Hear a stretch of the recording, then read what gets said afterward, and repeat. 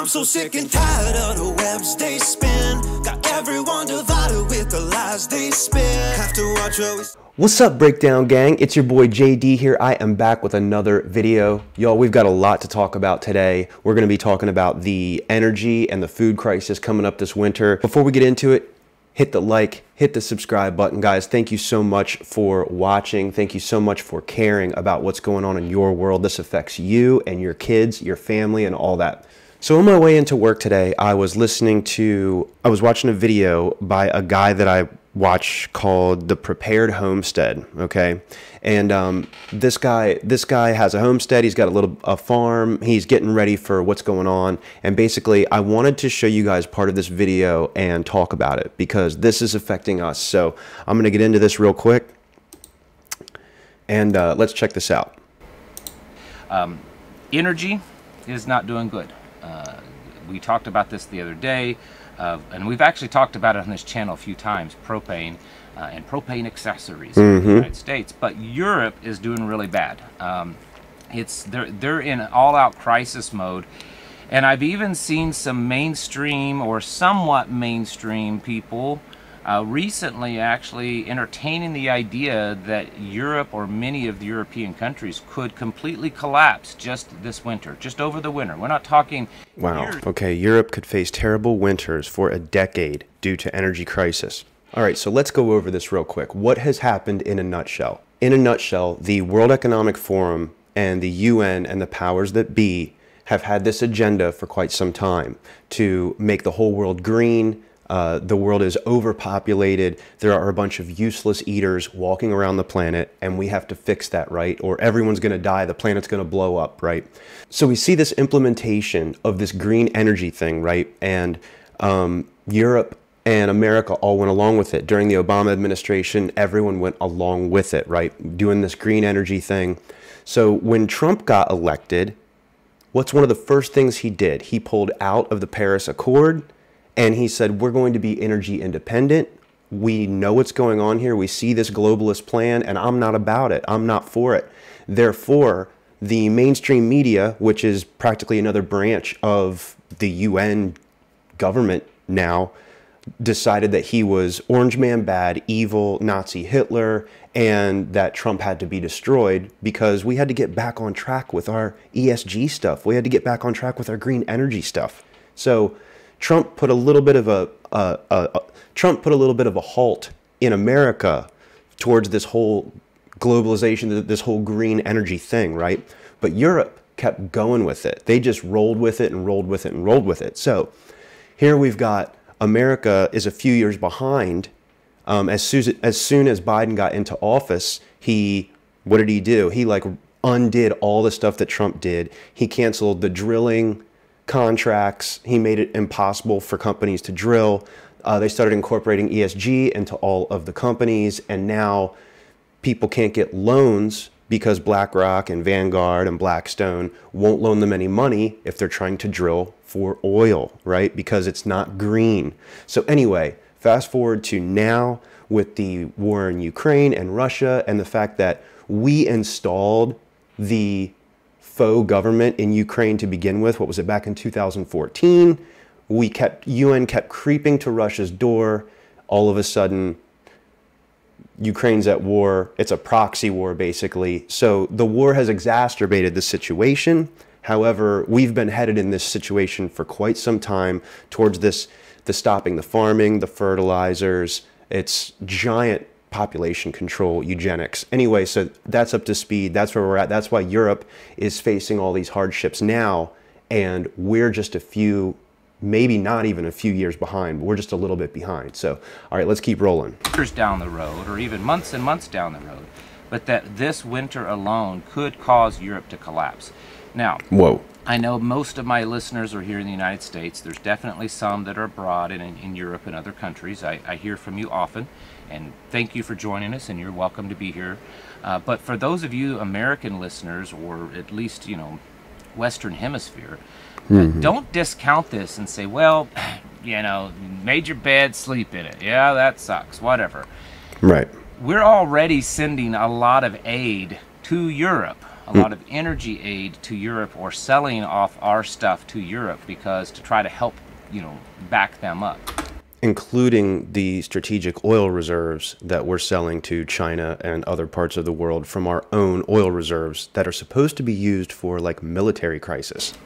And if you think for one minute that if Europe collapses, if their economies collapse, if there's, you know, governments collapse, and it's not going to affect the United States, I don't know what to tell you. Yeah. Because it absolutely is. It's going to affect us. The most of many of the European countries are our, some of our closest allies.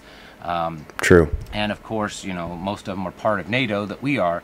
And so, the, any type of uh, disturbances and instabilities in Europe is it's there's a ripple effect, folks. It's going to affect us. Yeah, can you imagine? I mean, if if a lot of the countries over in Europe like Germany, France, all the countries that we do business with basically that we trade, sell, if they're going through it, obviously we're going to feel a lot of that over here. We are still pretty self-sufficient when it comes to some things, but mostly we're relying on those countries over there for different things. I've seen people say, well, you know, at least we're in the United States. Let Europe burn um, or freeze. It's going to affect us. Uh, right now, from the reports that I'm seeing, uh, wood, firewood, by the cord, uh, is selling for somewhere around a thousand or more U.S. dollars, or the equivalency of what a thousand U.S. dollars is. An equivalency a thousand dollars for a cord of wood, y'all. That's that's crazy. That's really high. Um, I've seen some people here in the United States claim that, that or state that, that cordwood is selling, you know, anywhere from three to five hundred dollars a cord here in the United States, which is really high because around here it's still 140, 150. Um, but over a thousand dollars a cord is that's pretty high. Uh, there's been lines of people lining up to try to get coal uh, for their for their homes. It's interesting. Let's read this on the screen. It says In Poland, where coal is king, dozens are lining up at the Lubieski Weigel Bogdanka coal mine, waiting for days and nights to stock up on heating fuel. These people are getting in their cars, they're driving to a coal, a place where they mine coal or a coal factory of some kind, like refinement factory, and they're literally hoping to be able to fill their trunks up with coal so that they can heat their homes. It doesn't sound very green energy to me, does it? that um, all these green energy measures that are causing a, a lot of these crises over in Europe are forcing the people to resort back to fuels that are the Dirty- thing dirty fuel, clean. right. Instead of letting them use nuclear energy or or coal-fired pl- uh, electric energy from, from plants, or even gasoline or diesel or natural gas, we're back to coal and wood fire in the home. And folks, you know that natural gas burns super clean, right? I mean, it's super clean. It's easy to come by if you're drilling and you're fracking. The the answers to this power stuff, they're out there. Clean burning nuclear energy. I mean, look at Russia. They've got nuclear plants up. They're they're doing fine. Russia's actually doing great as far as their energy goes. They're not experiencing these problems. And Putin seems to be one of the only world leaders who has the cojones to stand up to the World Economic Forum. um, which I'm fine with, but it's just it's a little ironic. Uh, so we're, there's videos and there's footage, uh, pictures and reports all over Europe where people are trying to scramble around and, and get coal uh, to, to, to you know heat their home. Electricity has gone up about 1,800 percent in Europe. 1,800 percent. Wow, Electricity has shot up. that's insane. I know my electric bill's been creeping up. I don't know if it's because of the air conditioning or whatever, but I can I don't think it's where it, it was last year. This is absolutely a recipe for disaster. And and Europe uh, weather predictions uh, for this winter look very similar to the ones here in the United States, which are it's probably going to be a really bad, harsh winter. We had a, a very dry, hot summer, um, and typically, even if nothing else is, is affecting the weather, if, if everything is just a natural cycle, which many of us know that that's probably not the case, but it, anyways, if it was a natural cycle, typically when you have And I think what he's talking about there is the fact that the chemtrails and all that, they can control the droughts. They can control a lot more of that than what we realize, but I digress. I mean, excessively hot, dry winter, um, summer you typically have a pretty harsh cold winter. I mean, it's just the way the pendulum swings. Uh, and so if, if Europe has even a normal winter, um, it's going to be bad. But if it, they have a really harsh one, you know, there could be deaths, there could be, you know, civil Wow. unrest, people, Yeah. you know, kind of losing it, losing their humanity, like we talked about this morning in the, the walking video.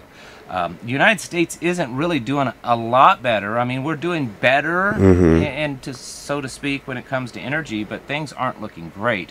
Uh, natural gas supplies are uh, 12% below the five-year average, the, the amount Oh, of natural gas that we have stored.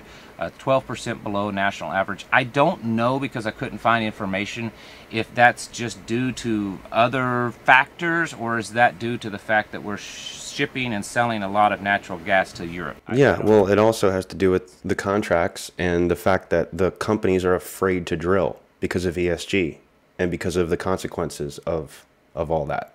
I mean, that's it. know. Maybe it's a little bit of both, but the fact is, is that we have less than what we would normally have.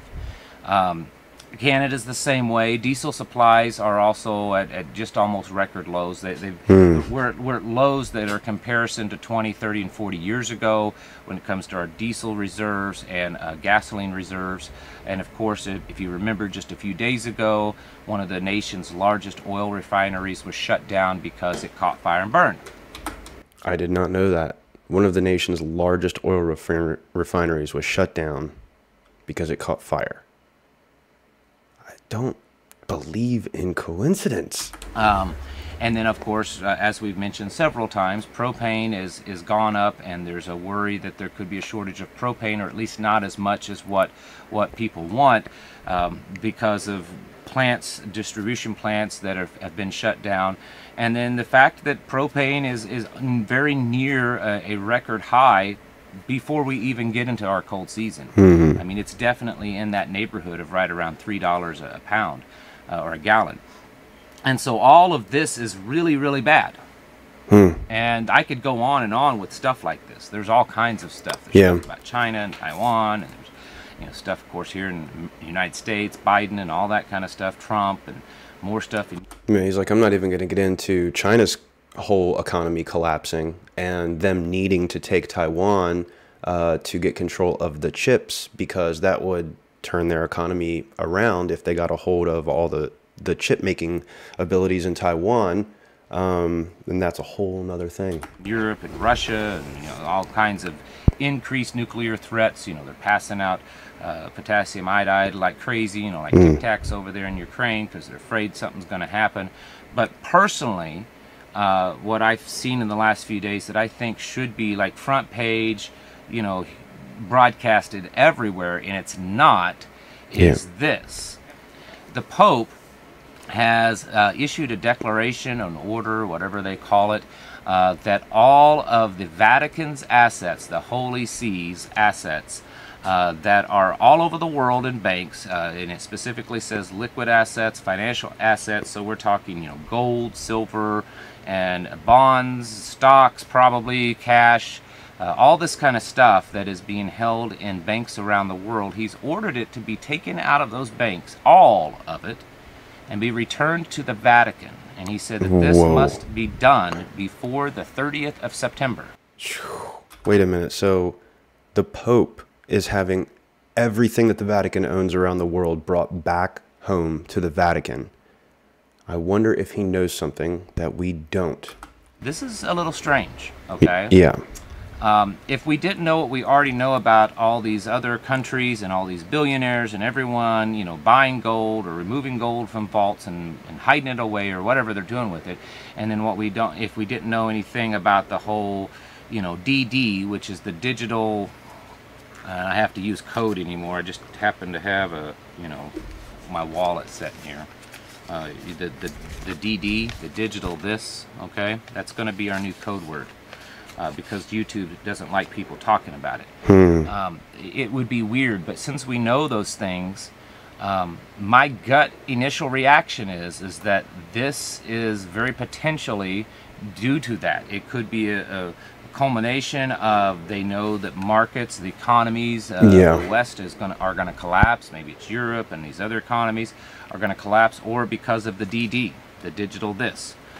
Okay, so I'm just going to stop it right there. Um, now, basically, I don't know if you've ever heard of BRICS. BRICS is a new organization, fairly new organization, Brazil, Russia, India, China, and South Africa. And they are currently working on a new system of currency that the world can use instead of the US dollar. And when you've got countries and rich individuals and organizations pulling their gold and their money out of banks and out of the depositories around the country, um, and they're they're recalling it and they're doing something else with it, that is a red flag. The people, the powers that be, know something about the American currency that we do not know yet, and that is scary, my friends. So, guys, what can we do? What can those of us who don't make a lot of money do to try to prepare for this whole energy thing? Well, let's talk about some practical things, right? If you live in a house like I live in, there are little tiny things you can do to make it more airtight, make it a little bit more insulated as far as in the wintertime putting plastic over the windows. I know it looks tacky, but it works, guys. It keeps the heat in. Um, if there's any way that you can get a hold of a wood stove, cut a little hole in the side of your house and burn some wood if you can get a hold of it, if that's easier. Um, other than that, get ready to dress warm this winter. I mean, you can always wear hoodies and sweatpants and all that kind of stuff. I know it doesn't sound good, but you know, hopefully we don't experience what they're going to over in Europe. Um, but guys, there's just you got to start thinking about it now. You got to start thinking about your food situation, your water situation, your heat situation, your vehicle situation. You got to start thinking about it now um, it's really hard when you don't make a lot of money. Trust me, I know. But um, I've got I've got under my bed. I've got my food storage going. I've got my water filtration system going. I watch a lot of Infowar. I, I, I get the news. I, I, I know what's going on. So guys, just try to prepare as much as possible.